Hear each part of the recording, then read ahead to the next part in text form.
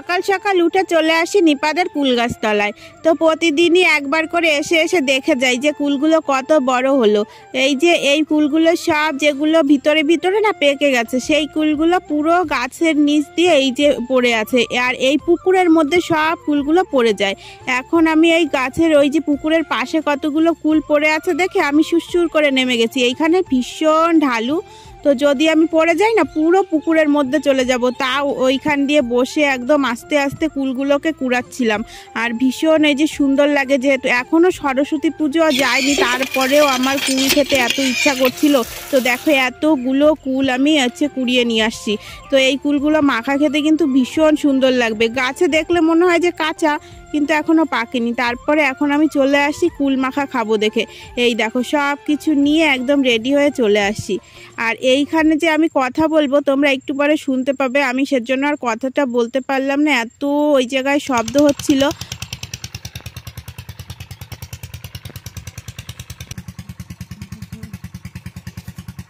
ওরে তো পাইকা গেছে। ভালো লাগবে পাকাতেই ভালো লাগবে খাবি পাকাটা তুই? হ্যাঁ আমার কোনো ব্যাপার না তোমার ভিডিও করি তো ভেবেছিলাম যে কুল মাখা খাব, কিন্তু নিপা বলে কি, সরস্বতী পুজোর আগে আমি কুল মাখা খাব না? দিদি, একটু পেঁপে মাখা করো। তাই জন্য এই যে পেঁপে নিয়ে বসে পড়েছি, দেখো এখন আমি পেঁপেগুলোকে কেটে পুরো কুচি কুচি করে তারপরে মেখে নেব। পাশে মেশিন চলছিল আর আমার কোনো কথাই শোনা যাচ্ছিল না সেইভাবে।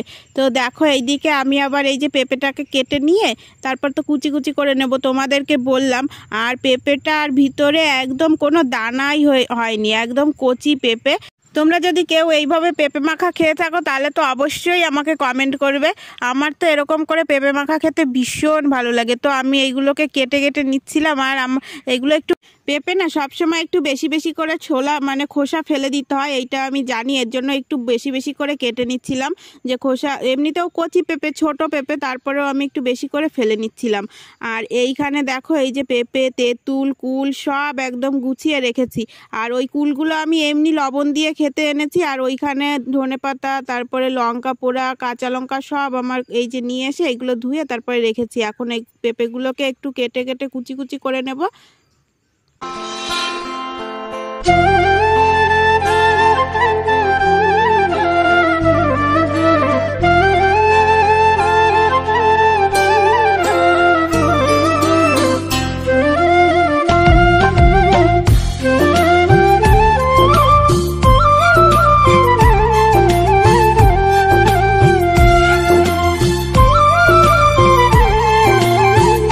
দেখো, এবার আমি এই যে পেঁপেগুলোকে পুরো একদম কুচিয়ে নিয়েছি। আমি কিন্তু এরকম করেই মাখা খাই। আর অনেকে, অনেককে আমি দেখেছি পেঁপেগুলো পুরো ছোট ছোট করে কাটে, তারপরে মাখা করে। কিন্তু আমার এইভাবে মাখতে খুব ভালো লাগে।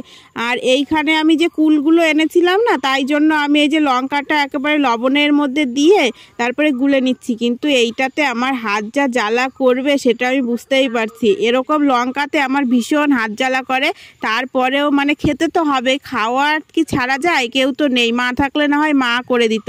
আর এইটা এখন তো আমার জীবে জল চলে আসছে, ভীষণ সুন্দর লাগছিল। আর এই গাছের কুল এত টক, তবুও ভীষণ ভালো লাগে আমার নিপাদের গাছের কুল। তো ওইদিকে আমার কিন্তু এখনও পেঁপে মাখা করা পুরোটা হয়নি, আর এইদিকে আমি আবার কুল খেয়ে নিচ্ছি।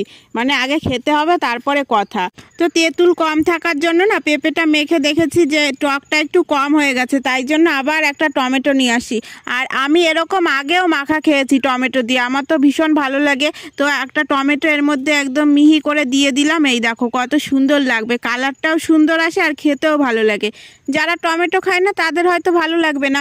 আর এই দিকে কুল আমি যেরকম করে খাব ভেবেছিলাম, এইটা আবার মাথার মধ্যে একটা বুদ্ধি চলে আসলো।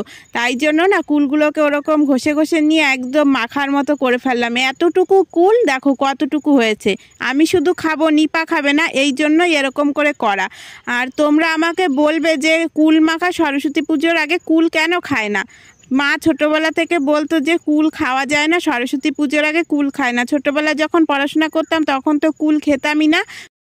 দীপা টাকা। কেমন হয়েছে বল?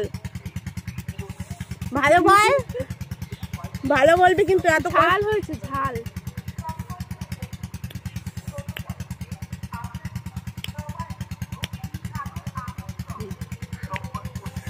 একটু কুল মাখা খায়নি আমাদের গাছ থেকে কুল পেরে নিয়ে আসে আমাকে দেখায় দেখায় খাচ্ছে। আর তুই তো তুই তো খাবি না। তারিখ দুদিন পর সরস্বতী পুজো যাবে তারপর আমি খাব। তার জন্য কিছু বলছি না। খাক দেখায় দেখায় তো?